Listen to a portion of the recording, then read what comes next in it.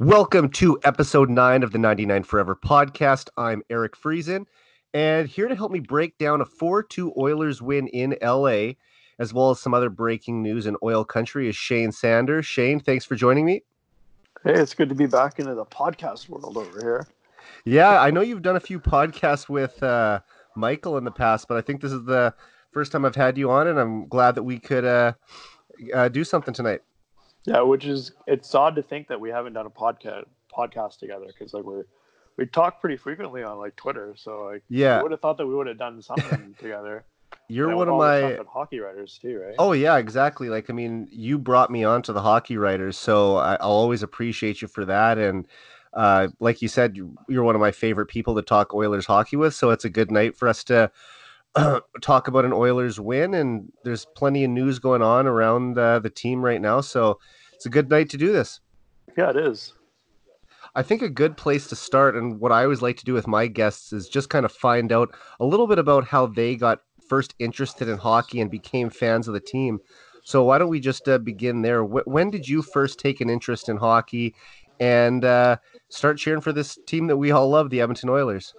Oh, I was pretty much born into hockey. Uh, I think I was on skates as soon as I could walk. I think that was the, so pretty much. I grew up in the hockey was pretty much all I really knew. I remember the earliest thing that I really remember was the uh, was that Canadiens '93 run to the final when they went up against LA, and I was kind of torn because I liked I liked the Kings at the time, but that was the first team that I really kind of been exposed to, and then that magical run with the Habs that year where they won like 11 overtime games or whatever in a row. Um, but that was a, that was probably the earliest memory that I have. And then I remember the uh, the '94 run for the Canucks. That was the year after, and you know I'm in the Vancouver area, so that one was one that we you know we ripping through the province newspaper every uh, every week, and here's your new here's your Jyrki Lumme poster that comes out of the newspaper. The week after, you've got uh, you know your Nathan Lafayette poster. You're collecting them all and putting them all aside. So that you know those are the early memories that I have from the sport, and then you know having my first fight in Tyke because some kid ran across the red line and stole the puck from our side. So I was, you know, I was growing up on Rock'em Sock'em and Scott Stevens. So, you know, are you a big guy? no, not really. No, I'm uh, okay. I'm about like no, I'm not. I'm not that big of a guy. I'm a pretty small guy. I'm like five ten, about two hundred pounds. So. Oh well, you're so, solid built though. Yeah, like an oak tree, but you're like uh, you, you kind of got the Ethan Bear uh, body then. Yeah, kind of. Okay. Yeah. Well, that's good. If you were a right shot defenseman, you might have made it. Yeah, maybe. I'd get buried on the depth chart really fast. Though. So you you've lived in BC your entire life then? Whole life, yeah. So how did you gravitate towards the Oilers? Uh, well, I guess I was a little bit of a traitor. Um, okay. So the 94 run happens, you know, and like, you know, now we're exposed to the Canucks and like this is the team kind of going up. And I was about like five or so at the time.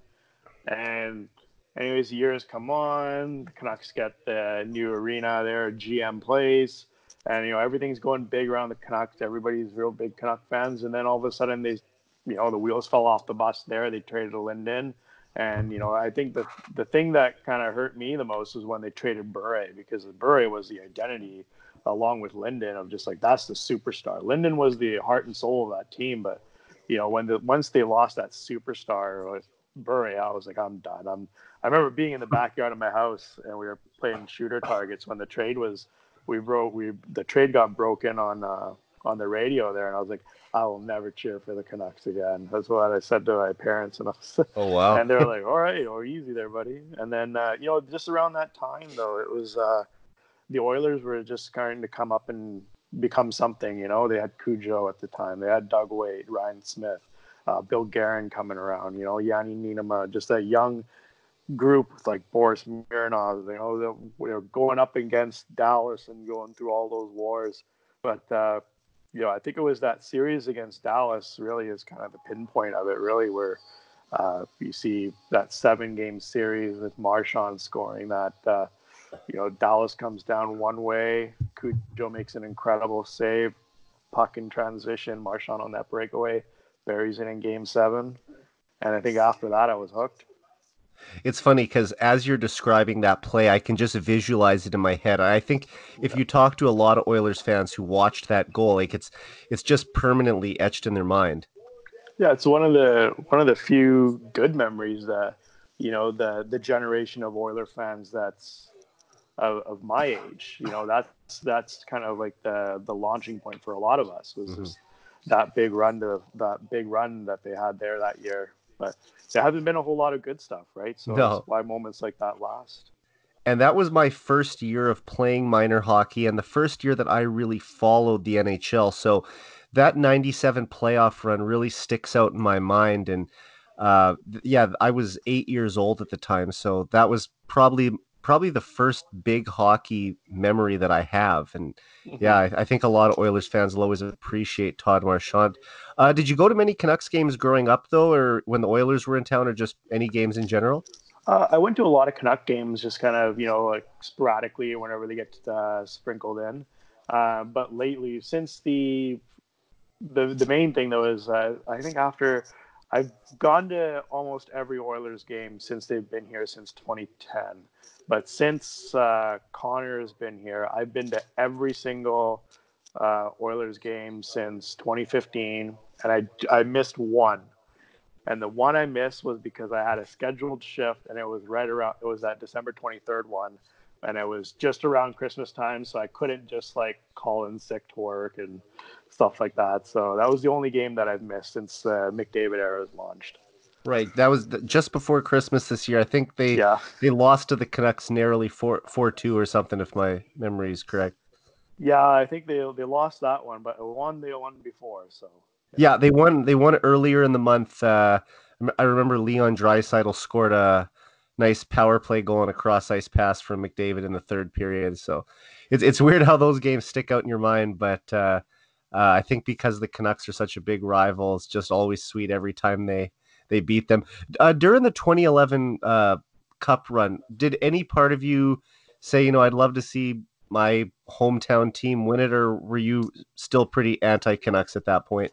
You know, you know, I think uh, that that 2011, it was that 2010 and that 2011 run is the, those two years back to back. You know, everybody kind of just it didn't really matter what your primary team was, but for the Canucks, those two years, like that's that was the time that we felt that they were at their peak. You know, you had the Sedins on one line, you had Kesler and Burrows that were also there, and like that was like your core group, and just the depth of that team. That was probably one of the deepest Canuck teams that we've ever seen, and you know everybody kind of hopped back under the the Canuck bandwagon just for a little bit, just for just to kind of go through that run. You know, mm-hmm. you lose to you lose to the Hawks in sixth year in 2010, and then that was the year that the Hawks end up going to the final. And so you know you're just kind of right there. And then the year after that, that 2011 run is just like, I think there's a lot of people here that will still have fond memories of the of that run and just everything that happened to it. Like I remember like being downtown for for the games or watching them on the big score the outside the CBC complex, and you know, unfortunately, I remember uh, we were at that game seven outside the CBC complex, and it was just there were way too many people that were there, and you know, you could just kind of start to see in the crowd that there were ple- there were people that were planning to riot before the event had even gone up. Oh, like wow. even like people that were just not even Canucks fans that were just there wanting to cause trouble because they knew that they could probably get away with it like we had a girl that was in our high school that ended up getting kicked uh, that she got kicked out of her university she was on like a decent scholarship and she got she got booted from Jeez. her university it was in the news and stuff like that but i remember being there just as it was starting and we were like yeah i turned to my buddy I was like we got to get out of here and so we ended up just kind of taking the taking the long way out of town and like as you're seeing you know we, we were walking out just as the first car was flipped and we're like, oh man, this is going to be bad. But I remember they had to, they shut down the entire downtown core. They were only, they were allowing people out, but they weren't mm-hmm. allowing people into the downtown. And then just all like the police forces, like the ambulance services that were on that night. I, I run into a lot of those guys and they, they were stuck in that downtown area and just like on extension of their own shifts, just staying there, just working extra because of the riots. And, you know, they, there's only so much that they could really do. And just the, the damage to the city that night was just like unreal. Like I haven't seen anything like that since maybe like the, there was, there was, a, there's another riot in 94 when they went to the final, but this was, uh, you know, I don't really remember much of the 94 one, but this 2010 2011 one was bad, and so that's kind of like the one thing that kind of stays with you. But with that 2011 run, you know that that whole the riot aside, like you know, you just saw like the Canucks they were just so close, and you you kind of watch the ebbs and flows of that final series versus Boston. And it's just you know if you get a bounce here, you get a bounce there, or a bounce there, you know things are a little bit different. But the Bruins had that mentality where they were with like Lucic, where if you poke the bear a little bit, the whole team yep. woke up and said there was that Andrew Alberts hit where I think it was Andrew Alberts when he smoked uh, Horton, and that was in like Game Three. And then after that, like Bruins couldn't like the Canucks couldn't hold a candle to the Bruins after that. So. And I think there's a lot of Oilers fans who are still pretty happy with the way that that series ultimately turned out. And uh, I mean, watching Lucic play in that playoffs, I mean, if the Oilers would have been able to get that Lucic in 2016, he'd probably still be on this team today and being an effective member of a playoff run right now. Oh yeah, like you know, Lucic grew up. You know, I remember watching him here when he played for the Giants in the WHL, and you know, he was he was a decent guy that could get moving. He could, you know, it was one of those things. Even in junior, though, you noticed like if you you just stayed away from him and just let him be. He would just kind of be there, you know, and just he wouldn't engage as much. But he was Lucic at his best. He was he was when he was moving his feet and actually getting involved in the plays. But you know, as he's gotten older here, it's just the wheels just aren't really there, right? So I think that's sure. been a huge thing for him. And you know, for me, whenever there's a kid from Saskatchewan who makes it onto the Oilers, it's always kind of cool. I, lo- I love you know Jordan Eberle and now Ethan Bear. It's just kind of I, I like to see a guy from my own province uh, be a valuable member of the Oilers. Is it sort of the same for you with guys like Ryan Nugent Hopkins and Jujhar Khaira? Do you kind of get a bit of a kick out of watching those guys uh, make it to the NHL and play for your favorite team? I think it's nice to see, you know, like uh, like Nuge grew up playing in like uh, for Burnaby Winter Club, which is just one of the organizations that I would end up playing with. I never ended up, I never played against him, but uh, but I remember like you know he you know all these guys are just in this area all together. Like Khaira's from Surrey, like you know it's kind of interesting to watch these guys all just slowly just evolve and then make their way into the NHL. So happy for them. Um, but yeah, you know whether they're playing for the Oilers or anywhere else, you know, like I think it though Jujhar Khaira is you know as being like a uh, like being one of the first Punjabi MB uh, NHL players in the league. Mm-hmm. You know, that, that's big for the culture down here, right? Like, there's a lot of East Indian kids that are now getting into sports, and at least they have someone that they can pinpoint on and say, "Hey, oh, like, absolutely, you know, plays here, right?" So it's gonna it's good for getting kids into the sport, and it's good for just having them have someone of their own descent make it to the league because then they say, "Hey, if Jujhar made it, then we can probably make it too." So it gets more kids involved and want to go on, right? Are you noticing that there is quite a bit of diversity playing minor hockey now in the Vancouver, BC area? Oh yeah, like it was. I think my age was uh, was when I started to notice like was playing through the '90s and the, in the early 2000s. That's when the huge diversity of it was just booming, right? And so now you've got a lot of people now that are putting their kids into hockey that are second generation or third generation uh, Canadians that have moved over here from India. You know, like I think I like I was uh, my grandparents moved here first, and then my dad started playing, and my uncle and whatnot, and then my the next generation after that was me and my cousins, and so you know, it's just even with us, like we're a hockey family, and we've fully like gone into the sport over here, and we're all still involved in varying levels, whether it's coaching or uh, development camps, and um, you know, uh, my cousins is trying to get into college hockey or whatnot as well. So uh, I, I, think it's good for the sport. You know, we, we got to get some more drafted, uh, some more kids drafted into the league. Yeah. But you know, we'll we'll, we'll get there eventually. of course, I mean it's it's only going to grow with time. I think was, was Jujhar the third player of Punjabi descent to make it to the NHL. I think. Uh, I believe he was the fourth. Uh, okay. Because uh, I remember Robin Bawa was yeah. like one of the first. So it was like um, it was Manny Malhotra. Manny Malhotra, yeah, he was half, and uh, there was another guy as well. I just don't remember what his name was, but I don't know if he actually played in the NHL. But it was um, yeah, it was Khaira might be the third, but I believe he might be the fourth. He's got a brother too that was playing in junior. He played junior, right? Yeah. Yeah, and his brother, his brother Seva, he um, he did go to an Oilers uh, rookie development camp. Uh, two, I believe it was two years ago, and he was uh, he was there in the rookie camp. I don't think he made it, he never made it to main camp, but he was there in rookie camp a few years ago. Um, but there was like there's some been some other ones too. Like uh, Prab Rai was a kid that played for Seattle in the WHL, and uh, he was a Canucks like fifth round pick. Uh, but, you know, like it's got to be like 10, 15 years ago now. But uh, Prab Rai was a pick. He went through the whole process, but then he uh, he ended up going into got a really bad accident and actually like fractured his spine, and you know, oh, that no. was the end of his career. But uh, you know, but uh, that was a, like you know, there's been some there's been some guys coming along. Jujhar is kind of the the one right now that's actually playing, right? So, but um, we'll, we'll there's probably going to be a couple more East Indian guys coming through the league. You won't see you won't see it be like you know like the fourth or fifth. You're going to start seeing in the next ten years. You're going to start seeing that number yeah. like double, triple, right? So. No, that's awesome. I, it's oh, any way we can grow the game in any parts of the world and with different cultures, it's awesome. I think eventually the NHL wants to grow in China too. I mean, it only makes yeah. sense with a country that big that they should have a Chinese presence in the NHL. Even in Germany, we've seen um, more high end prospects come in after Draisaitl. That country is really starting to take off. So there's a uh, the, the, you know the the game of hockey is growing in different parts of the world, and it's awesome to see. And I'm glad you mentioned the rookie tournament because you made me think of something.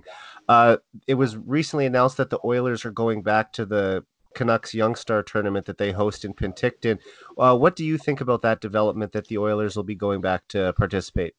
I think it's perfect. It's just, it's what they need out here. Like, uh, it's really good for Penticton as well, being like a you know a community that just kind of booms in the summer as it is. And so giving them another attraction for the summer will, will drive some more people towards the interior in that okanagan area. Some great wineries over there too. So uh, you know it, it's it's good. Like we, we need to get the the canucks the flames the oilers and you know maybe even the jets back and just get them all together and i think those are the teams all, that are there yeah, because they did that a few years ago, and then I don't know why it just kind of fizzled out. There was some uh, there was some poor stuff in trying to get things organized and how things were going to get done, and so it kind of fell apart. But now I'm glad to see that it's coming back together, though. Yeah, it, it wasn't the Jets originally in that tournament. Was it the Sharks? I'm trying to remember who else was in that. Yeah, tournament. it was um, before the Jets. Before the Jets came in, it was the Sharks.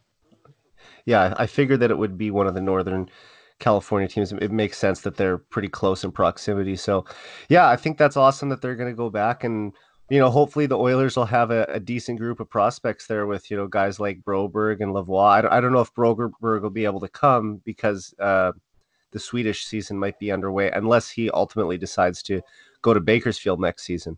Yeah, I think that's uh, that's the the word is that Broberg might be coming over next year, right? I think we'll get a decision by rookie camp but uh, on, on, where he's going to come next year. But uh, it, I kind of 50-50 on whatever he does. But um, I think that the uh, the Oilers kind of want to get him over to North America as soon as they can. But yeah. um, you know, well, whatever ends up happening is what ends up happening with him. I mean, I, I don't mind that he wanted to stay in Sweden an extra year this year instead of playing in Hamilton in the OHL, but uh, they're going to have a benefit of letting his entry level contract slide next year because he'll still just be 19. So you might as well take advantage of that, get him used to the system, and then bring him up to next year. And, and they're getting the same deal with Bouchard being on that uh, yep. that slide contract. So you got a couple young defensemen there who have bright futures, and that can only bode well for the Oilers.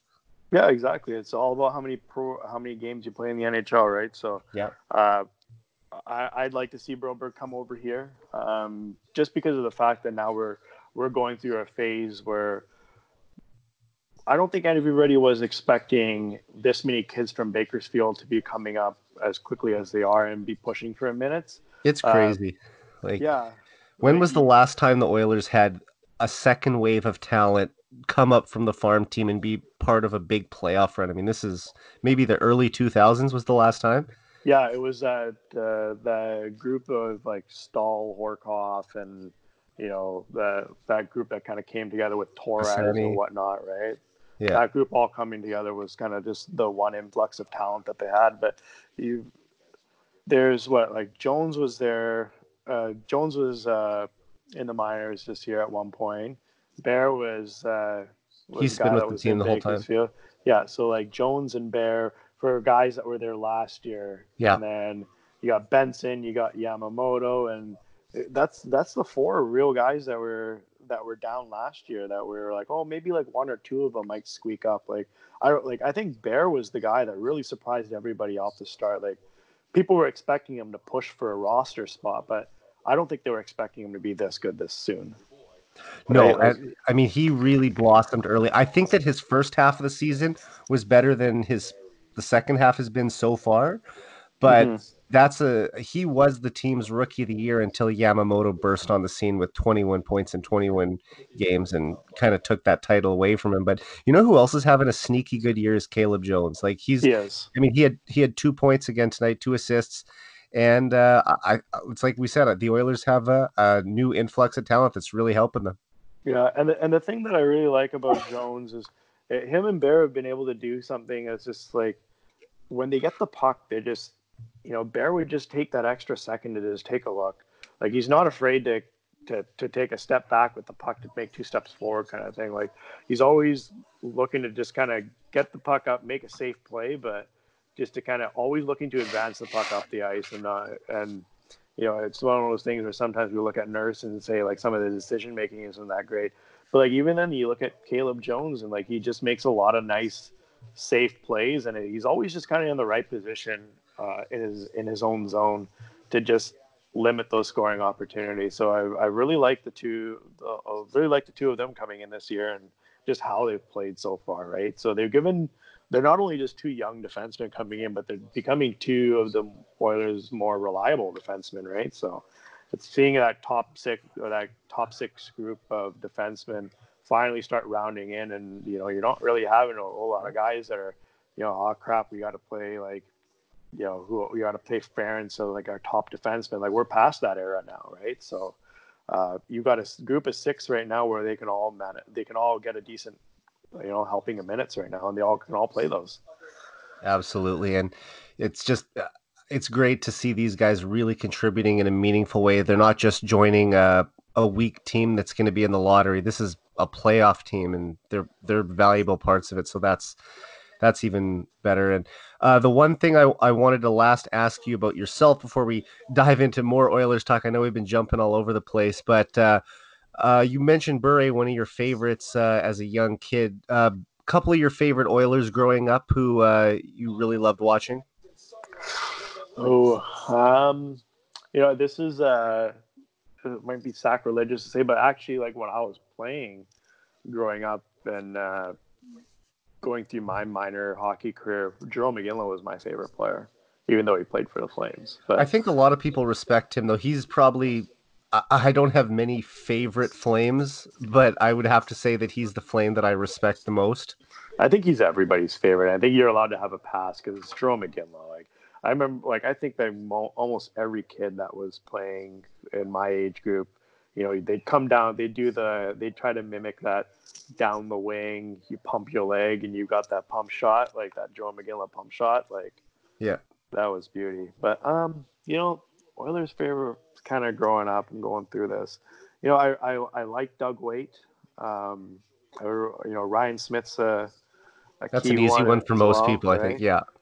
You know, uh, but and I, always kind of had a thing for Tommy Salo, even though he was okay. You know, his goaltending was just kind of you know suspect sometimes. But uh, I like Tommy Salo. I thought he was a really underrated goalie. I think he was on the verge of becoming a top-notch goalie in the early 2000s. N- never quite got there, but he was good. Mm-hmm.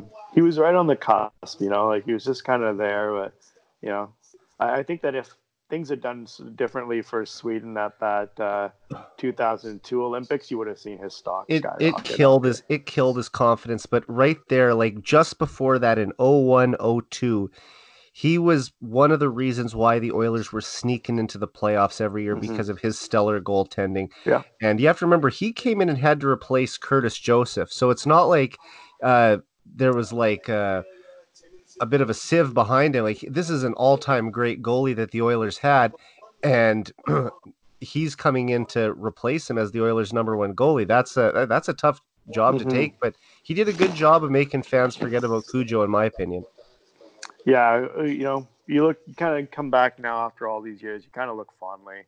Um, always like the like some of the more obscure guys, like you kind of coming through. Like I think the guy with the coolest name when I was a kind of like a younger Oilers fan was Sven Butenschon. Remember yeah, that guy? I do. German defenseman that played like what is half a season? He was done. well, it, it's sometimes there's a player who you just have an attachment to and that you're yeah. a big fan of. You know who was one for me when I was in grade six, seven, eight was uh, Please Anson Walking Gage. No, no, not Walking Gage, but uh, you know, good for him that he uh, had carved out a bit of an NHL career for himself. But uh, Anson Carter, I was I was a big Anson Carter fan in the early 2000s, and I remember he was traded at the trade deadline in 2003, which is crazy to say was 17 years ago. But yeah. I remember I was I was a little bit crushed when I came home from school at lunch hour I only live a block away, so I rushed home to turn on the t- TV and see what Sportsnet had. And when I saw that he was traded, I believe, for Radek Dvorak, uh, yeah. I I was uh, I was a little frustrated that they got rid of him. And, and Dvorak was a decent player too, but man, that that that one kind of hurt me a little bit. And and and he was another guy who had to replace. Uh, a star player. Uh, he came in in the Bill Guerin trade, if you remember, from Boston. Yeah, yeah. So yeah, it was uh, a lot of these guys. Uh, it, the the Oilers were trading a, away, and that was like a weird trade too, because wasn't that the uh, no, that was the trade from before, uh, where uh, what you call it? Where was it? Yeah, because he wasn't he. Because where did he get drafted by? Was he, he was he was, he was drafted by pick, remember? He, yeah, no, so no, he was this, he was drafted by Quebec City, and then he never played for them. He went to Washington. Yeah so his first team was Washington. Yeah. And then he was a part of like this weird trade that was like him. Um, was it like Jason Allison was in it? Jim Carey was in it. Like Bill Ranford and like who else was like? I think Adam Oates was in that too. Yeah. Now that you're talking about it, I I remember it more. I, I wouldn't have remembered it off the top yeah, of my head was, the way you did. That was that was the deal that uh, that they did at the at the 97 deadline so uh, before that, that was the one where the Caps went made that uh, run to the final. Remember? Yeah. Versus Detroit.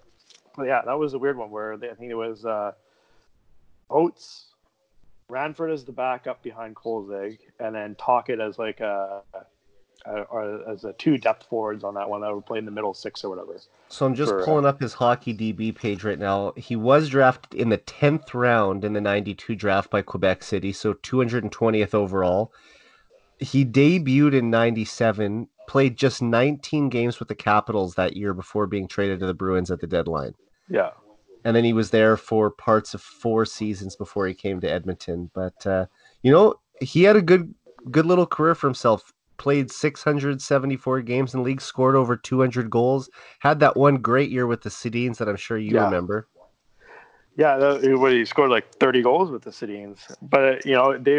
I remember when he was, because uh, he was there for like one year and he was a UFA after, I believe. And so the Canucks wanted to re-sign him, but they wanted to do it on the cheap. But he was yeah. he was wanting to get a big payday for it, and so they just let him walk. And they're like, "All right, well, we're we know why you're getting the goals this year. it's not because all of a sudden you've just found this." magical box. It's because of who you're playing with. We like to yeah. compliment them, but you know we're not going to pay you this exorbitant amount of salary that you're expecting. And so, where did he end up in Columbus and just fizzled out? So, you know. He looked good with Ryan Smyth and Mike Comrie back in the early 2000s as well. I, I like that line. Yeah, that was a good line. and then I believe he actually got brought to Oilers training camp on a PTO in like 08 and didn't end up making the team. But I, I was kind of secretly hoping that he would get another deal and get to come back to yeah, the I think that, yeah. So that was uh, that was 2007. So that 07, would have okay. been that would have been for the 07-08 season because he had just finished up with uh, he had just finished up with uh, Columbus and you know he played a little bit with Carolina at the end of the year, and then he was waiting for a job and then he didn't get one, so he went over and played in the Swiss league after. I don't think he made the Oilers. Didn't make much of an impact in training camp and ended up. Uh, they I pull it. Let me pull it up here right now. Um, I'd So love for the Oilers to bring played- these guys back more too. For like, you remember they used to do those once an Oiler, always an Oiler nights for oh yeah. for guys like guys who weren't going to get their jersey retired, but just a nice kind of night to give him a tip of the cap. He he'd be one of the guys I'd love for them to do that for. Well, I think one thing that they need to do in Edmonton is um, so at Rogers Arena in Vancouver here, there's the guys that get the numbers retired, and then the guys that are just on the cusp but were like really good players for the team that will they won't get their numbers retired, but you know they want to honor the player. They have a ring Yeah. of honor that goes across the top. So like that's where you've got guys like you know Kirk McLean's up there, um, what you call it, Pat Quinn's up there uh, Mattias Ohlund uh, is up there as well, right? And like Kurtenbach up there. So it'd be it's a- nice to get the Oilers something to do something like that in, in uh, Rogers or Rogers It's- place. It's a cool idea, and I remember seeing that on Twitter recently. Some people talking about that. The only thing is, I don't want Ryan Smyth on a Ring of Honor. I I will stand up for him till the end of time that his jersey should be retired, whether or not he's in the Hall of Fame. I think that that doesn't necessarily have to be the criteria to have your your jersey retired by a team. I mean, they're they'll say you have to win cups, you have to have your jersey retired. Well, there are lots of teams who don't have cups and have jerseys retired. So I don't know where you fall on the Ryan Smyth thing, but for me, he's he's absolutely deserves it. I'd like to see him in the Hall of Fame. Like this guy's won what? Like Oh, I'm just Yeah, saying for the the Hall of Fame, I'm not sure he'll get it. I hope he gets. I, I'm saying to get his jersey retired. Uh, if he gets into the Hall of Fame, that's even a that's huge I think bonus. that's the thing, right? Is that they want them to be Hall of Famers. yeah, But you look at the Canucks though too. Is like, like you know, there was an argument the other day where I think it was Seravalli was the writer that said that uh, the Sedins aren't guaranteed to be uh, first ballot Hall of Famers or even Hall of Famers at all, based Mhm. on their uh, based on what they've done. But you look at like you know, scoring I- I titles, think- Stanley I Cup think final. I you think know, they'll get in because you know They they won those Art Rosses, they they won a Lindsay, they won a Hart Trophy, right? So I think that they'll eventually get in. But uh, you know, you, you look at Ryan Smyth, it's, it's not just your what you did in the NHL. You know, Exactly. he was the he was the embodiment of the Oilers for the '90s and the early 2000s before he was traded. Yeah. But yeah, you look at his inter, his international resume too, though, right? Like he he represented Canada for for the better part of like two decades. Yeah. he was a staple. Most ever games for Team Canada, I believe, on the international stage. Like I he's mean, won this is a, the guy. he's won a gold at the juniors. He's won gold at the Olympics. He's won a World Cup. He's won two World Championships. Olympic I- gold. Ba- yeah, uh, yeah. I said they. Oh, Olympic uh, gold, yeah, uh, 2002, Juniors, the Olympics. He's won a World Junior, and he's won two World Championships. Like based on the uh, on his international resume alone and what he's done for Canada, like that's that's enough to warrant consideration. Because like you know, like uh, you you got some of the guys that were playing for Russia that did nothing in the NHL, Exactly. but because of their international resume, they got it. And so I think the the argument is valid for Ryan Smyth to warrant consideration. and I'm glad that he got into the W double IHF Hall of Fame. That's a step in the right direction. I think Yep. it's like you said, it's not the NHL Hall of Fame, it is the Hockey Hall of Fame. And I mean, really, he scored 386 goals in the NHL. If not for some injuries, he easily gets 400. Might have got closer to 450 even. So if he ends up in somewhere between 400 to 450 goals and the Oilers win game 7 in 06, now he's got a cup ring, he's got Olympic gold medal, and he's got we'll just say 430 goals. I mean, does does that get you into the Hall of Fame? I think I think it does. I think it should. So we saying that if he's if he was healthier, and if They win one game. if they if they win Game Seven in 06, that Ryan Smyth's a shoe in for the Hall of Fame. I would. I'd he Oh. he'd be a, he'd be on my ballot for sure. Well, I guess we've heard it here first. yeah. now, if only uh, Lanny McDonald and whoever else is on the selection committee can get on board with it, then we'll be able to get that done. But uh, no, he's uh, he's an Oilers legend. I think some people will say because he was never a quote unquote elite player in the league mm-hmm. that that he shouldn't get that honor, but I think he should be in. I think he was still, you know, you could say that he wasn't an elite, but he's still a premier player, right? Yeah. Like you, you, have got a guy that was playing on a lot of really crappy Oiler teams, like in the, like even those uh, those teams that were in the 2000s. You know, he didn't really have much to work with, really. Like the even when they had Horcoff, like was Horcoff really a bona fide like first line center? No, no like, like they, they had the one year where it was. I mean, the year they went to the final, it was him it was Horcoff, Hemsky, and Smyth. Yeah. And I believe they had Hemsky had 77 points, Horcoff 73, which was the outlier year for him. And yeah. Smyth was Smyth was mid 60s, I want to say 66, 67. Yeah. he was the goal scorer on the line. He had like yeah, 36, had 36 goals, that year. That year. Yeah. See, it's funny how we just both have it in our head, but uh, but yeah, it was I mean that was a great line, and then they they filled in with some depth, probably the best depth that they'd had since the late 90s with that 06 team. The best center that he had was Doug Weight, and then Easily. You know, obviously it didn't last that long, but it would have been nice to have seen Doug Weight stick around. Because yeah. I, I think if he had like a premier guy like Doug Weight for a little bit longer, when he was actually in like the the true prime of his career, I think mm-hmm. you would have seen some way better numbers from Smyth. You would have seen some 40 goal seasons from him. And and that's exactly it. When he did hit his prime, he was the best player on the team. And I think that Smyth Smyth is a guy who you want to be like your second best, third best maybe guy on the team. And the fact that he was having to carry the offensive load without a playmaker to set him up, that probably did hurt his numbers a little bit. Yeah. But anyway, we'll shift more towards the current state of the team. Um, it's great. I mean, I, I, could probably talk for two hours with you just about 90s and 2000s Oilers, but uh, we had a win tonight on the West Coast. The Oilers picked up a big 4 2 win in Connor McDavid's return. Just wanted to get some quick thoughts from you on the game tonight. You know, um, so tonight's game, I didn't really watch it too close. Uh, okay. But. Uh, you know the the things that I did pick did pick up because more like usually when I'm watching an Oilers game, I'm just kind of I kind of hunker down by myself and just kind of just zone into the TV and I'm just watching every little nook and cranny of what's going on. Uh, tonight, not so much, but uh, you know, it, it, was nice to see McDavid come back, um, and especially to have an impact right away. Uh, you you see that goal where it's just a give and go with uh, with Draisaitl. You know, that's just a classic between them is we're, we're getting actually spoiled because we're seeing that almost every game now. Whereas it's McDavid and Draisaitl, even though they're on two, they're anchoring two separate lines, but you get them together on the power play as McDavid to Draisaitl. Here we go. And how many times yeah. do we see that every game, right? And so they they connect, and that was a beautiful goal by Draisaitl. And then you see Connor later on. You know, I that was I think everybody thought that that was a hooking call by uh, by. But oh. I think you saw like in it was almost like in three in three consecutive shifts after that, he tries the same move three times. And then by the third time, he uh, that was the one where McDavid got the goal on Petersen. Yeah. But uh, you know, you look, he, he did the same, he did the same move three times, and you know, he he fooled everybody, right?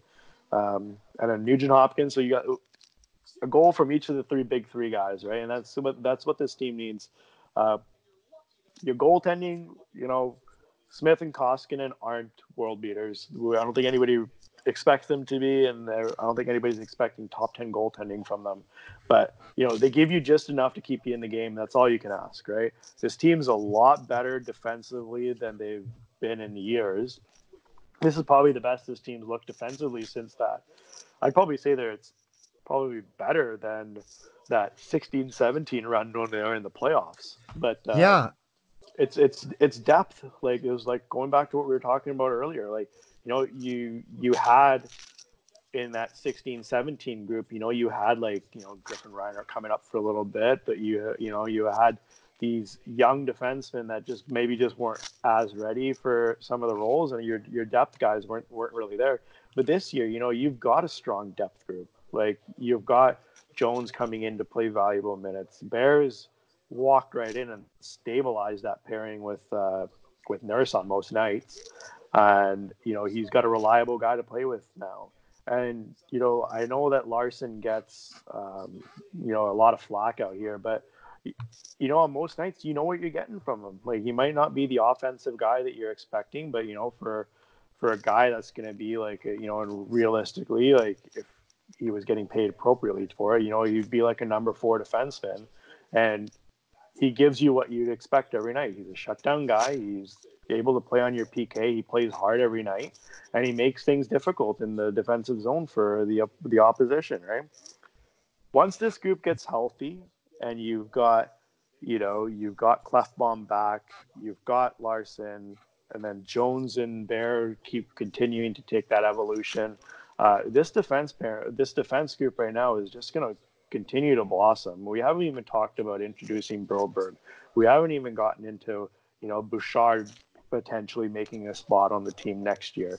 And we haven't even talked about the the fact that they just made a trade today for Mike Green. That's it. I, I wanted to get to that a little later in, in the podcast, but I'm glad you brought that up because that was the other breaking news that we did have to discuss. Um, but uh, yeah, w- this was a game they had to get tonight, and uh, I was saying to my dad while watching the game, we were watching it together, that you know they, they just can't get a, a call to save their lives. I mean, it, it took until late in the third period for them to get a full two minute power play. They scored on a, a short power play that was in the first period, coming off four on four, but uh, they just with all that entire game and the stuff that got away, I couldn't believe that it took that long for the ref to finally put his arm up. And it's just ridiculous the calls. I, I, feel like we're just beating a dead horse here, but it's true. I mean, look at how frustrated Connor was with the refs. He never gets that upset unless it's something really egregious. And tonight it was, and and he was he was frustrated. And he saw Doughty laughing on the bench. And it reminds me of a game earlier in the year when uh, Doughty kind of got his uh, his glove up in Connor's face and was laughing about it after too. It's just one of those things where he he's kind of trying to get in his head, but I guess Connor did get the last laugh with the goal. Still, uh, I mean, what do you think with all these calls? Are the refs ever gonna start to maybe call a few extra penalties on McDavid, or is it just never gonna come? You know, you you'd hope that they would because I think it's getting to the point where he's kind of earned some, he's earned some credit, he's earned some respect, but you know, I think the refs are expecting him to just be played hard. You know, but everybody's just going to be playing him hard. Um, but I think the frustration that we that we as fans get when we watch these games is it's it's no different than what a lot of Canucks fans feel when Pettersson just suffers abuse after abuse. Like this guy gets like two handed across the back. He gets two hands across the back of the leg. You know, he gets tripped up. Guys are knocking, like punching him in the head.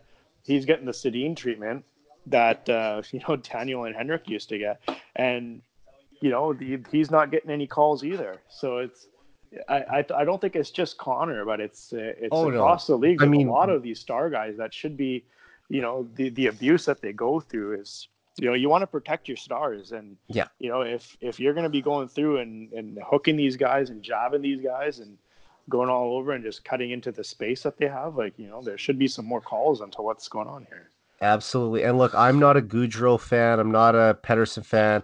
Eh, I'm not a Matthews fan. And look, they're all fantastic players. It's just that because they play for teams that I don't like, it's it's hard for me to really appreciate them. But when I do watch Pettersson and I try to take it from a neutral perspective, I I do think that he is a fantastic hockey player, and he's probably going to become a hundred point player in this league.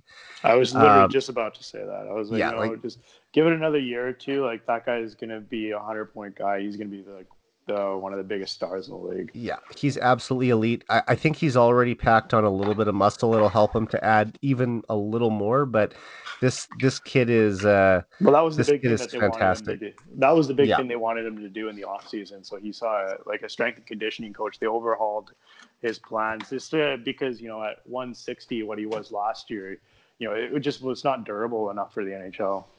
No, I mean, up until a few years ago, I was six foot one, 160 pounds. So, uh, I mean, I I never thought of myself of having an NHL frame. So to think that he was playing in the league at that, and and Nugent Hopkins was pretty close to that too when he first mm-hmm. started. Mm-hmm. Yeah. So it's it, it's tough to go through the rigors of an 82 game season when you're you know you're that slight. But um, yeah, I know you probably watch him a lot closer than a lot of Oilers fans because you probably see more Canucks games. But um, yeah, it's it's tough. I think the worst thing that I've seen happen to him was in Florida. Was it in Florida where he got tackled to the ice? He basically got like WWE like power bombed.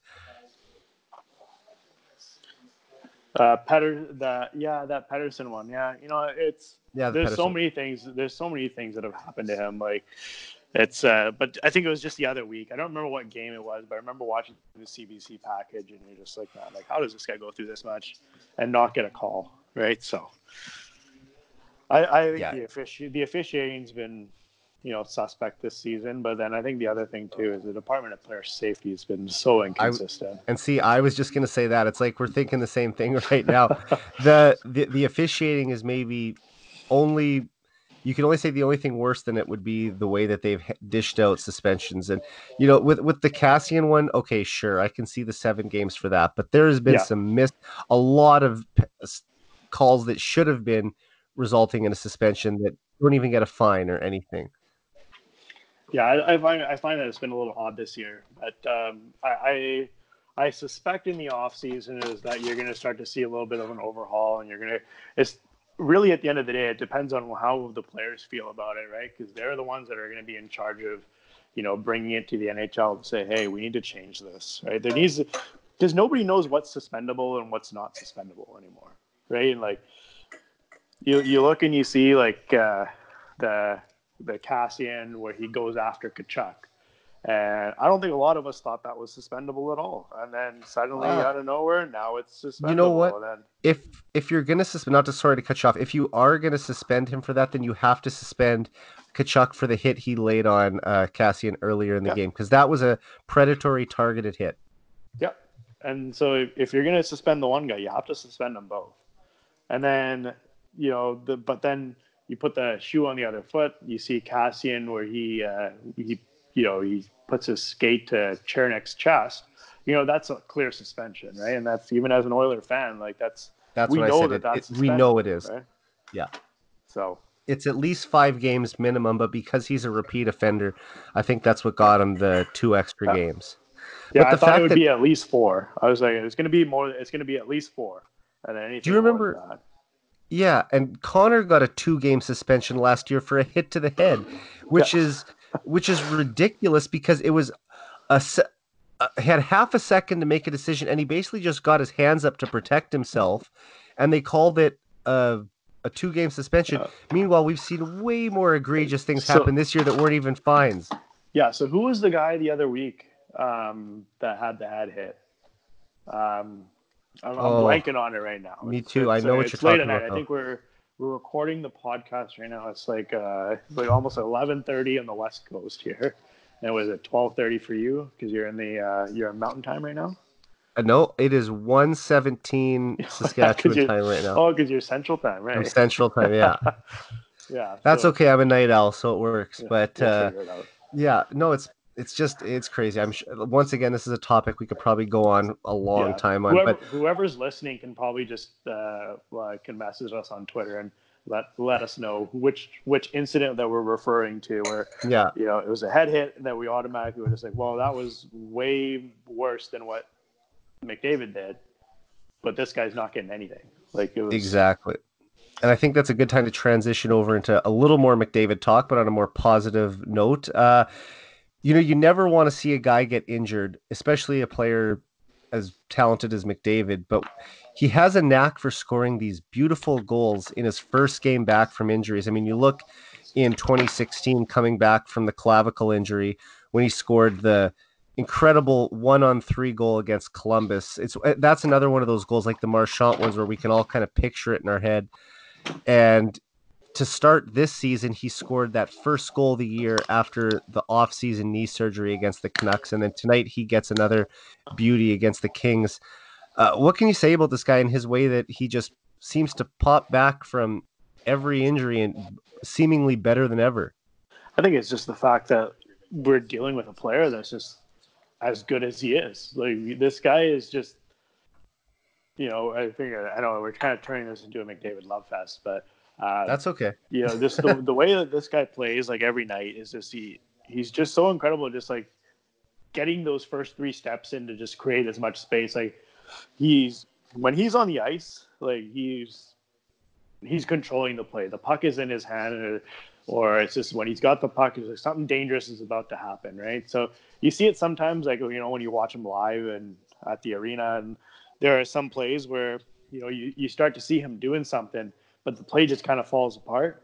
But it's one of those like few and far between things because more often than not, that play that he's getting, like you'll see, ah, it didn't really work on the first try, right? But it was it was subtle and not might not have noticed what he was doing. Then you see him the next play, and he and he nails the he nails the play, and maybe just missed the net by whoever he's passing it to, just misses the net by a hair, right? But then by the third time he's done it, it's uh, you know it's it's in the back of the net, right? And he just does these things so quick, and it's it's a it's um it's really special to watch, right? Like we haven't had a player like this in Edmonton in what? Like when, was the last time? Really, it was it was Gretzky and Messier, right? I mean, were this skilled with the puck that's it. Like you, you have to actually make the debate now. Who is a better hockey player, Mark Messier or Connor McDavid? I mean, I think it, the, the the easy answer in terms of uh, legendary careers is Messier with all the cups and the greatness that he was a part of in the 80s. Connor's still very early in his career, but you might be able to say, yeah, he's in terms of pure hockey talent, he's a more talented player than uh, than Messier. I don't I don't think that's too sacrilegious, but Messier obviously is you know uh, in Oilers lore forever. Like I think at the end of the day, they'll be they'll be the the top three best Oilers of all time will end up being Gretzky, Messier, and McDavid in whichever order you want to put them. So and you could end up having Draisaitl pushing Jari Kurri for the fourth spot. Yep. Which is even crazier to think about. Even then, I think you mentioned that you want to talk about Nuge today too, and I did slowly working his way up too, and now, you know, that could be your top five in like ten years or now, ten years from now. If these guys can get a cup, because that's what they're missing, right? They, you've we can talk about how great these players are, and we can talk about how how awesome it is to watch them play, but you know, at the end of the day, it doesn't really matter if you don't win a cup. But I think these guys, like statistically, will will, will all end up in the top five. Exactly. Oilers of all time. I mean, Nuge could be the first Oiler to go end to end with the team, and I would love to see him start his career in Edmonton and finish his career there. And and like you said, who knows how how high Nuge goes up in terms of the greatest Oilers ever. It, and the other thing is, it let's say he spends, which is crazy to think, like what you're it saying. Is. It's crazy to think is that you know the Oilers had Gretzky, but he he wasn't a a, a bell to bell Oiler. Messier no. wasn't a bell to bell Oiler. Kurri, Anderson, Ranford, Fuhr, like all these guys, even Coffey, right? They all played roughly were... half their careers. They they all played roughly the first half of their careers in Edmonton. Mm-hmm. But the the other thing is when you're ranking these guys, I mean, I have Paul Coffey probably right now as the fourth best Oiler ever. I, I would say he's the best defenseman they've ever had. Right. But then the thing is, Coffey only played seven years in Edmonton, won a Norris Trophy, three cups, set some records for most goals by a defenseman and things like that. So the, the tricky part will become down the road. How do you compare that to, say, a guy like Nugent Hopkins who maybe spends 20 years with the Oilers? You know, seven years to 20 years, it's it, there's a there's a big gap there. Do you say, well, Coffey accomplished so much in a short period of time, and Nuge didn't ha- see that much success in the first nine, ten years of his career, but oh, you know, maybe in his 30s the Oilers were winning cups. So it, that that'll be the thing that we'll have debates for 10, 15 yeah. years from now. Well, it's like the same thing that happened with Yzerman, right? Yzerman was a great player, played for Detroit, but he didn't win anything. And then all of a sudden, you know, they win a cup or two, and now he's, you know, obviously one of the greatest players of all time, right? Yeah. So. I believe he was 32 when he got his first ring, and he started at 18. So it, you know, it. Yeah, he was drafted in '83, right? So. Yeah, and he won it in '97. So yeah, it's it it doesn't happen overnight for all these players. Even even Lemieux. I mean, we hear all the time about McDavid and oh, you know, he hasn't had a bunch of success this early. Uh, I mean, look at what Lemieux did in the first five years of his career. Yep, Lemieux I think, suffered too. I think before they won the cup in '91, had he only made the playoffs once? It I think he, I, I think he only made it once, twice at the most, right? But it was he had a tough go in Pittsburgh until they started to bring in some talent until they got yep. Jagr, Francis, Uh, I don't know if Trottier was there for both. Well, cup. he didn't have anybody to run with. Like He didn't- in his exactly. uh, early point of his career, and that's kind of what we're getting in with too with uh, with Connor now is that we've got a second line, but we still don't have a running mate for him on that top unit, unless you No. break up the the Draisaitl line, which Exactly. we don't, I don't think anybody really wants to do that right now. No, and that's the thing. Maybe you'll have a guy like Raphael Lavoie who will fit in with Connor down the road. Maybe Tyler Benson will take another step and fill into that spot, or maybe Ken Holland will have to go outside the organization and try and trade for one or sign one. But I think that it's great that we have that second line kind of set in stone. Now it's just a matter of, like you said, filling in around McDavid, which in theory doesn't sound like the most difficult job in the world because you've already got the main piece there. You've got this generational talent, this once in a lifetime player. The, the Oilers might never have a player uh, in the in their history again who's as good as Connor. This might be as good as we ever see in our lifetimes. Yep. So I never saw Gretzky play with the Oilers. He was traded six months before I was born. So that that air- 80s Oiler era, while I love it and you know will always go back on YouTube and watch it and read about it, uh, that I, I didn't see any of that live. But I'm getting to witness Connor McDavid's career from the beginning. So it- it's such a special thing, and I think a lot of Oilers fans. Uh, from this generation feel the same way, but they do have to find the complementary players to go with him. The he had Eberle, Maroon, guys like that for a while. Now they need to get back and find those guys again. Well, it's just like how um, how the Canucks just had Sedins, right? They had the Sedins for for the better parts of two decades, and you you kind of look back fondly at all those memories, and you know, you, we're gonna have a generation of kids that are gonna be going through, and you know they'll be pulling up YouTube in years from now, looking back and you know hearing the folklore stories about the Sedins and the you know the five overtime goals at the the, the fifth overtime goal against Dallas in game one of the uh, was it the I think it was the 04 playoffs or oh no it was the 03 playoffs maybe or but oh no that was the 06 06 playoffs yeah the, that year. And just like you know you, you talk about all these little memories that we have with the Canucks and eventually you know these are going to be the things that we're going to talk about with it with this group with like Yeah. Connor and Leon right we, it's it's how we we're now experiencing what you know how the tables have turned right this we're now listening to the stories of what everybody would tell us about you know seeing Gretzky Yeah. seeing seeing Messier and now you know we get to see Connor and we get to see uh, uh we get to see Draisaitl and you know Nugent Hopkins in that group and it's it's it- it's nice for each uh, each group of uh, each generation of Oiler fans to get something right we'll be the boomers 20 years from now saying, uh, you know, this kid is good, but he wasn't as good as McDavid, you know? Yeah. Oh, he's he's nothing like that. Let me tell you about this Nugent Hopkins. Yeah, that's gonna be it's gonna be us down the road. He used Uh, to skate so smooth and turn so fast on his edges. I just I want to be able to talk about some cups too, and then and then they'll say, "Oh, you're living in the past," but at least it's a different past than the one we're currently talking about. Well, at least in my past, we used to make the playoffs. Yeah, uh, I'm hoping I'm hoping my voice isn't gonna go that that fast that soon. So I guess what we're saying is that in about 30 years, 30, 40 years, the Oilers are going to have another decade of darkness. yeah. You heard it here Well. You know what? Oh, I'll I'll take it if it means McDavid gets three cups in Edmonton. Let's let's say that. Um, but we'll I'll take it if we can just get one. I'm happy with one. Get me Yeah, one. and you know what? I That's something for. that I talk to with a lot of guests. I, I say, is, is it is it acceptable if if the Oilers only win one cup with McDavid? And you know, I, it's not even on the podcast, but just with hockey fans in general that I talk to, and some Oilers fans will say, "Oh no, he has to win multiple cups." I mean, when you when you get a player like this, you can't waste that opportunity.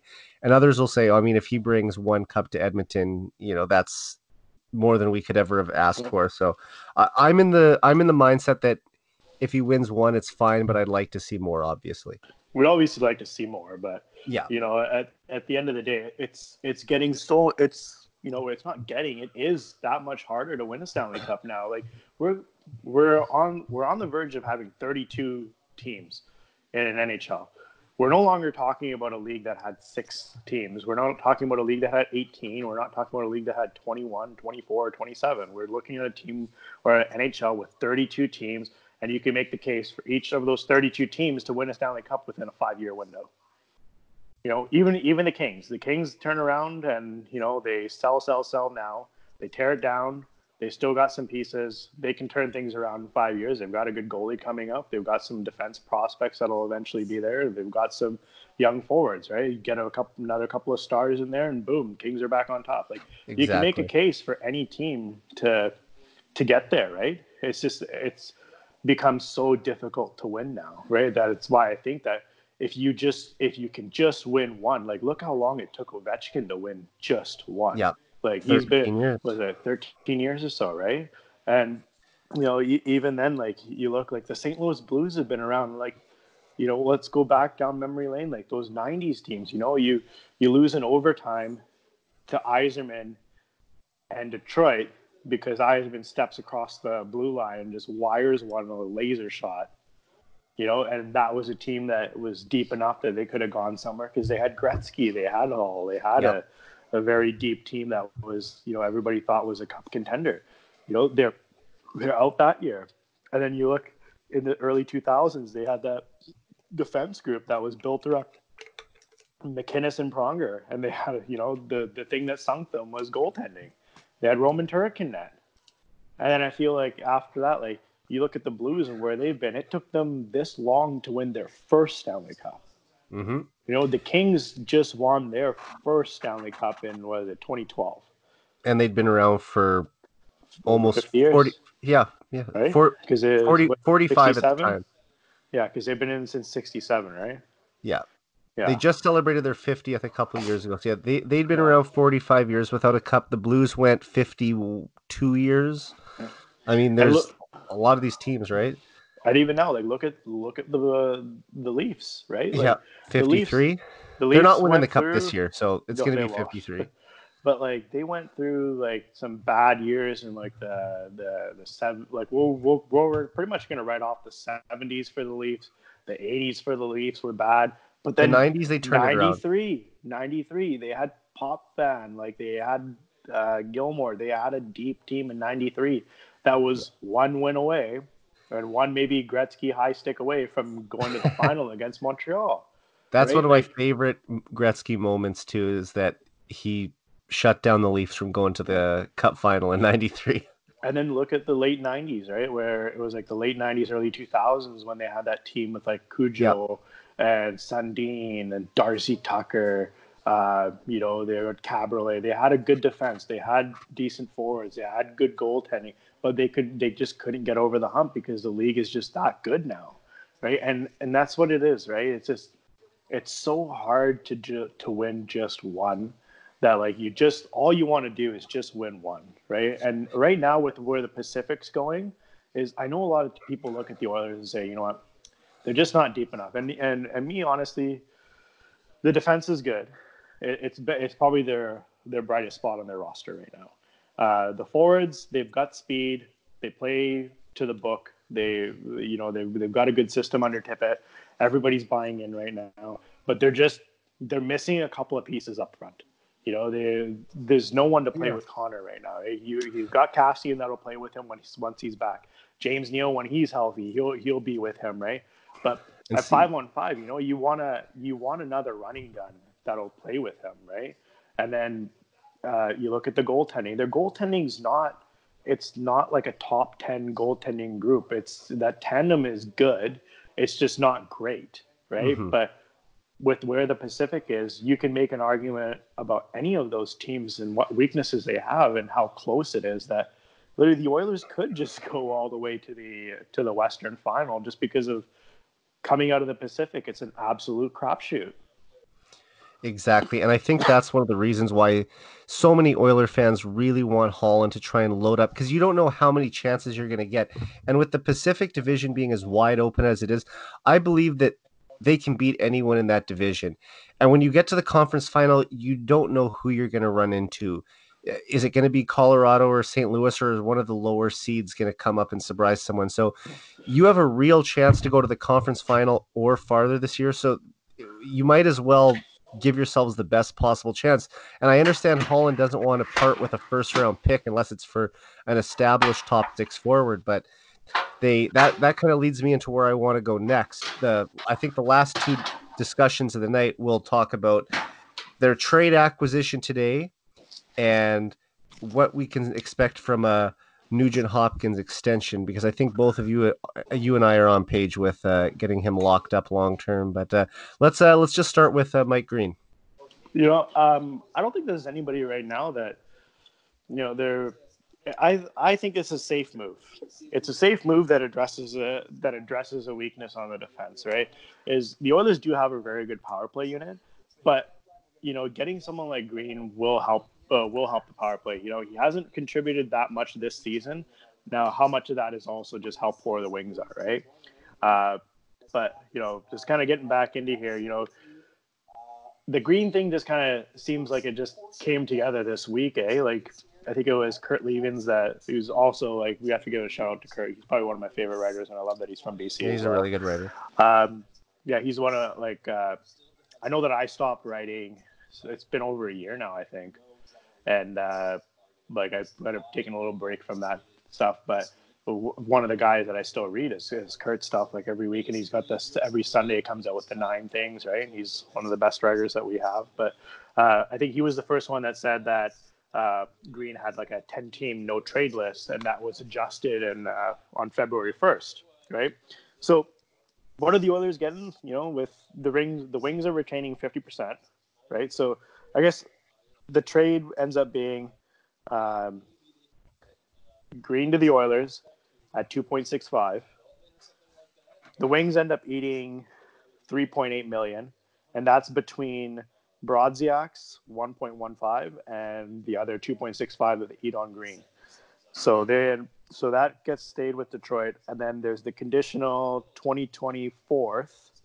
So that would be a 2021 third if the Oilers make the Western Finals and Green plays 50% of the games. Right? So, you know, that seems like a fair trade because like worst case scenario the Oilers are done, are one and done, right? You've essentially given up a fourth round pick this year. And you lose your third round pick probably because of the the the Neal and Lucic uh, swap, but you still end up with your first, your second, and you've still got your later round picks, right? So the Oilers will still walk away with five assets, and that's without them trading away some of their minor league guys that just you know are at the end of the rope right now, right? Absolutely, but, uh, and. I think the Oilers would have loved to cut Mike Green, let's say five, ten years ago, but at the same time, I think that he can still be an effective player for him. And I, I'm just well, happy. Five, ten years him... ago, I think he was on everybody, every Oiler fans uh, NHL video game uh, dynasty mode. It was like one of the top oh, four defensemen. Absolutely. Yeah. And you know, I, I grew up in Saskatoon, right? So I watched him play for the Blades.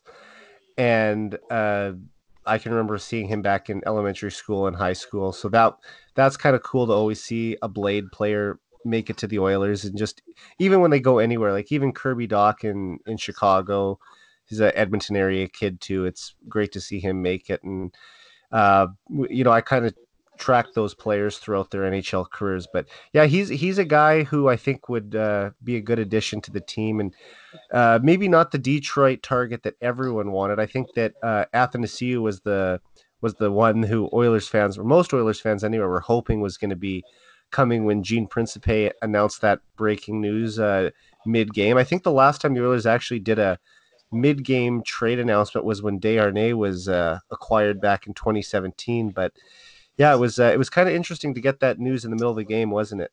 Yeah, it was. Um, you know, kind of looking at where where we see Green. You know, like at this stage of the game, I don't think anyone is expecting him to be a bona fide like come in here and just start you know filling in for Klefbom being gone or any of that. I think that those days are gone, but you know, injuries have been taking a toll on him. Uh, he missed six games in January.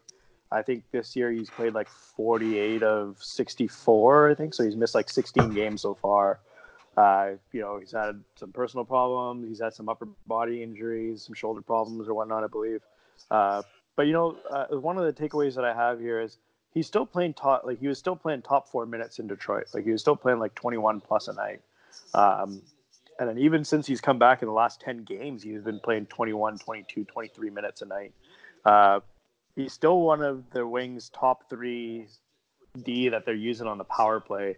Um, I know that only four of only four of his 14 points. So I think he's got a, so four of the 11 points that he has right now are from the power play, right? So you know the Detroit power play has been absolutely anemic, right? So you look at some of the stats uh, of where it is, and you have to take the fact that Detroit's been so bad this year, right? That if he was on a better team that could click a little bit better on the on special teams, that maybe his numbers would be a little bit better. Maybe we might be talking about like a like a 20 point defenseman, which you know for the Oilers is it, it's a good addition, right? Like, you know, uh, you've now got a right side that's got Bear, Larsson, Green, and Benning. You know, so one of those guys ends up having to shuffle over to the other side, and you know, and when you're healthy on the left side, you got Klefbom, Nurse, Jones, Russell, and Lagesson. So, you, you know, you you've got that depth there. You've got eight guys that can play. Oh, for sure. And not to put you on the spot here again, but I love to get your uh, take on it. Um, top four Oilers D to start the 2020 2021 season. Uh, so for next season, eh? Yeah. Ooh. You know, I think, uh, was it? Yo, Klefbom will be back. Nurse will be back. Um, I think that they find a way to weasel. Uh, so Bear will be back for sure and then it's just a it's a it's a decision on what they want to do with Larsson. Is if uh, Larsson gets a reduced role and bumps down, or if because one of him or Russell's going to go this offseason, right? I, I hopefully Russell. Like I, I think it might like I'm hoping that it would be Russell because he's already playing in that bottom six, right? And you know I don't I could see a situation where they end up losing Russell and then Larsson the the subsequent summer, right? Uh, but uh, you know, it's hard to it's hard to see Bouchard not getting a shot in the top four, at least you know to to play on the power play as well, right? Because no. I think we're all I think we're in agreement that that Green's a Green's a gonna be like third pairing defenseman once he's here, and he's only he's just gonna be a rental anyways, right? Yeah. So the, the other thing, I'd like oh, to sorry, see Bouchard there. It's either gonna be it's gonna be those three with either Bouchard or Larsson, and I think that if they end up doing a Larsson trade that in the summer to fetch them that top six guy, and then shuffle out Lar- uh, shuffle out Russell, then you'll because I think that was personally what I would do is try to trade Larsson in the summer to get that top six forward, that guy that's going to be uh, McDavid shotgun, and then you trade Russell as well for the cap relief, and uh, you end up getting into one of those spots where then you've now created a hole for Bouchard to slide in, and you got Bouchard and Bear on the right side in your top four, with Klefbom and Nurse on the on the left side. No, that's an interesting take. For me, I can see a scenario where Bouchard starts on the third pairing as a rookie, but plays the point on the power play. So they're really going to try to specialize his skill set to maximize his potential. That's just that's just where I think that they'll see him because they realize that he's such a good distributor of the puck and he's got that cannon for a shot, which the Oilers currently don't have. Uh, and that would add such a dimension to their power play. So I, I think I think that they could really really have a, a weapon there. Well, doesn't um, Bouchard kind of remind you of Mike Green?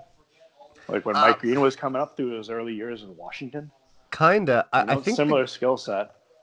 I think the player he got compared to at the draft was um, John Carlson.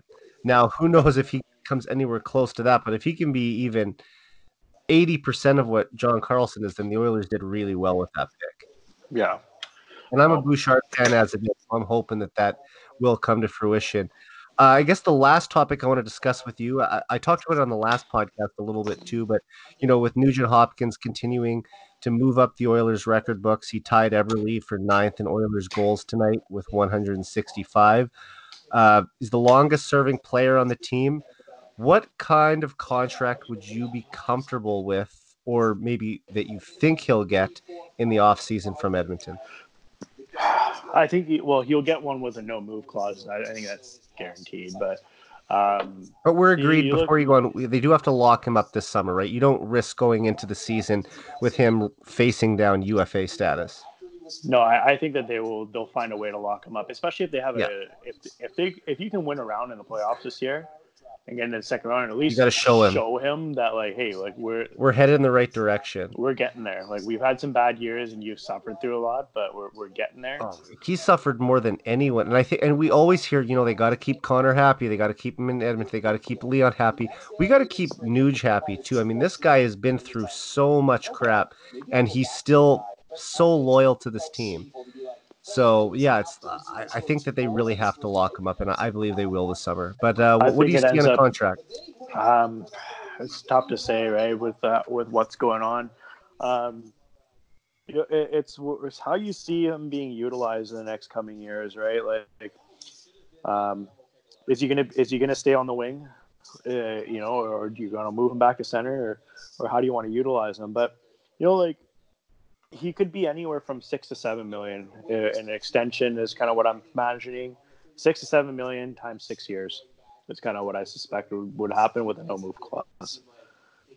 Okay. I think that's I think that's gonna be that's gonna be the ticket. Like I don't think it's gonna cost you anything more than that because like he's not the like he's not he's a building piece, but he's not the focal point of where Connor and Leon are. Right. Those are the two anchor po- anchor points on the roster. Nuge is a is you know he, he's your complementary guy uh, within that group.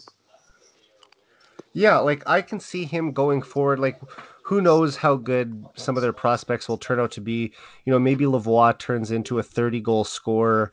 Uh, maybe Broberg establishes himself as a top pairing defenseman. So Nuge could be the fifth best player on that team somewhere down the line but I would sign him for eight years times seven and a half million per in a heartbeat. I, would do that deal tomorrow if he would sign it. Yep. I, I think that like I think a six to seven is probably fair um, because you, you have to start looking at when who because the guys that are making just a shade over seven and a half, you know, like that's like that's like Kuznetsov territory, and we're trying to say that you know is Nuge as impactful as like a Evgeny Kuznetsov? Like, I don't, I don't think so. No, um, I don't think so either. But with the contracts continuing to rise, and I know his agent will say, well, the salary cap's going to continue to go up too. So there's, uh, I just don't envision them signing him for under seven million. If you could get him for seven million, then that's that's great. Lock him up right now if he agrees to that. Yeah, because I think I think I just just think it's like tough to say, right? Like, well, he's a two way guy, but what what do you see? Like, what, what kind of seasons do you think he's going to have for the next three or four years when the Oilers are really pushing for cups? Like, do you see him as like a sixty five point guy playing with Draisaitl and Yamamoto, or or where, where do you see him? Yeah, like I kind of see him around there, like that sixty to seventy. Uh, like that 60 to 70 range is like in his prime years is, is what I think he's going to be here. But I think that we're also paying for his where he is right now is I think we're in his prime years right now, right? So like if oh, start yeah. going too long, is that we're going to be starting to get out of those. But um, I don't you know, see him I, dropping I off too much. Like, to see like around, his like I think seven. I think like anywhere from six to seven would be prime. And yeah. if you're if you're looking at like uh, cost inflation and whatnot, uh, you know, then then maybe you ends up being on the higher side and gets you to seven, right? But you look at some of the guys that are that are around there, right? Like I think he's comparable to what um, you know, like what Pacioretty's doing, right? Like Pacioretty's a 30-30 guy, right? And where, where's Nuge this year, right? Like Nuge is. That's what I was hoping Yakupov would be back in the day. I thought, you know, if yeah. Yakupov can be a 30 goal, 30 assist guy, that's perfect. Yeah. But it didn't quite happen. Anyway, uh Nuge, like you said, um I, I still think the goals will – be a little less than the assists. So we, we I yeah, I see he's, maybe... he's not a goal scorer. I think we can agree on that. He's got a great shot though. Like that's the thing. He's not a natural shooter, but he can rip it when he decides to. Like that that quick little snapper he's got. He he scores a lot of goals from the high slot there. I I, I see him as like a 25 goal, 40 assist guy. Yeah, I think that's fair. That's kind of where I was going. I would see him around the 20 to 25 goals and I think that one year, last year when he was playing with uh, Connor for that long stretch, you know, where he was like close to 30, I think that was a little bit, you know, uh, a little bit on the higher side of what I was expecting. But you know, 20 to 25 is is a safe number for what I would suspect that you can get out of him, right? But I'm just kind of I'm creeping on here on Puckpedia to see. So, who's the other guys that his agents got?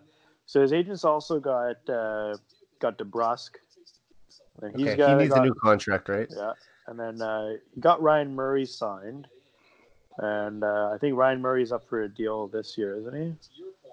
Yeah, I think uh, I'm not sure. I know DeBrusk needs a new deal. I'm not sure about Murray. Yeah. But he doesn't really have any other real star star guys, right? So not a whole lot of pull where he's got where he's one of the bigger agents. Uh, um, but uh, I, I, personally feel as I say, if I run the comparables on him, I, I think that's six to seven million, like anything like under six and a half, is a steal. So maybe I'll, he's maybe already I'll, making I'll six though, right? So I'll, I'll, pinch it down to about six and a half to seven million is kind of where I think that we'll, they'll end up getting them done for. And I think it'll probably be around six years or so. And that gets him to 32 and that he'll still be able to, at 32, be able to get another big, big yeah. deal at that point, right? So. Well, okay, so his he turns 27 in uh in April and his contract ends when he's 28. So the next contract actually starts at 28. Okay, so then we're getting him down to 34. So I I think that that's fair because then okay. that gets him all the way down before he becomes like a that gets him that covers his prime years, the last two years before he starts to taper off, and after that, then he can get one of those over 35 contracts if he wants to continue to stick around or continue playing or at whatever level that he's at, right? And then that would probably be around the same same dollar signs that you get. And I don't think you're be expecting him to get like eight or nine million at the end of that once he's 35. So I, I personally think that six and a half to seven million is kind of like the prime number. If it goes if it goes plus or minus, you know, like uh, like a couple thousand dollars, like it's not the end of the world. But uh, long, you know, like long story short, though, it's he's a he's a he's a piece that they need to sign. He's a piece that's going to be a part of the solution and uh, I think we both agree that they need to get something done this summer. Yeah. Put a no move Absolutely. clause on it to, to you know to give them some added security and you know some knowing that you know they're not planning to move them and they're not planning to to end the relationship early at all. But uh, you know I, I feel that six and a half to seven million is what I'll narrow down on uh, on a six year deal with a no move clause. Bring that into him in the summer and and hopefully that gets it done. Definitely. And, you know, uh, I hope that I can have you back on sometime, whether it be during the playoffs or in the summer, to kind of talk about more about this because I feel like we could go for three hours, but I think we'll we'll wrap it up here for tonight. So, uh, before I say uh, goodbye, I just want to say: Is there anywhere that you want to? Is anything you want to plug, or do you have a, a, Twitter account that people can follow you if they're just checking on the website and they don't already follow you? Um, yeah, just um, you know, my uh, my Twitter account is uh, Sander EDM, um, and you like I tweet whenever I really feel like it. I, after I stopped writing, I just kind of just I, I, I found that I was on Twitter way too much, and I was just buried into all the stats and just taking a bit of a social media break. At, uh, and just kind of just getting into things is way too much. And so actually stepping back now is like I, I'm still involved. I still tweet pretty often, but mm-hmm. I'm not as uh, I'm not as to the point where I've literally read like you know for all the main guys that would cover the Oilers. Like I, I would know all their tweets. I would know what they were talking about, and then I'm, you know you'd have to go into all the prospects and whatnot. And so I've taken a little bit of a break from all that stuff. So I still follow things, uh, but just not as closely as I used to. For sure. And, uh, you know, but maybe you know, and once uh, life slows down a little bit, maybe I'll uh, maybe I'll start to get back into the into the chair yeah. and start writing again. Well, you were one of my favorite writers, and I'll always appreciate you for bringing me over to the Hockey Writers and giving me a chance to uh, work there. And um, yeah, just I I hope everything's going good for you, and it's it's always a lot of fun chatting with you. So much much appreciated doing this tonight, and uh, let's do this again soon. I hope. Yeah, I hope so. We can do it again soon. Thanks for having me again. Yeah, it's awesome. Okay, so for Shane Sander, I'm Eric Friesen. This has been the 99 Forever podcast. We're out.